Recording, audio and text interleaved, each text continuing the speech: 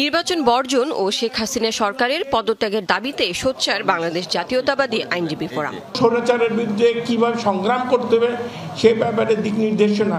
এবার আনুষ্ঠানিক সংবাদ সম্মেলন ডেকে অসহযোগ আন্দোলনে নামার ঘোষণা দিলেন সংগঠনের নেতারা। জানালেন দেশে গণতন্ত্র প্রতিষ্ঠা না হওয়া পর্যন্ত বিচারিক কার্যক্রমে অংশ নেবেন না তারা।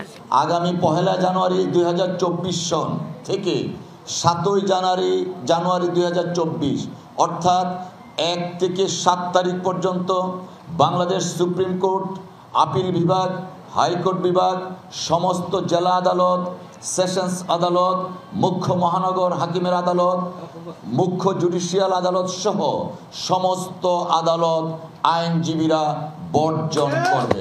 এই কর্মসূচির সমালোচনা করেছেন অ্যাটর্নি জেনারেল। বলেছেন এটি বিচার কাজে হস্তক্ষেপের সামিল।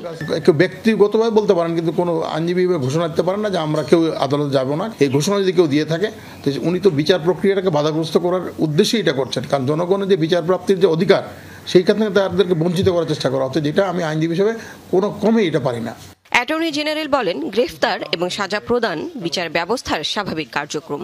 যে কোনো পরিস্থিতিতে এই প্রক্রিয়া অব্যাহত থাকবে। আমরা হচ্ছে যে আইনজীবীরা জনগণের পক্ষে মামলা করি যারা বিচারপ্রার্থী জনগণ।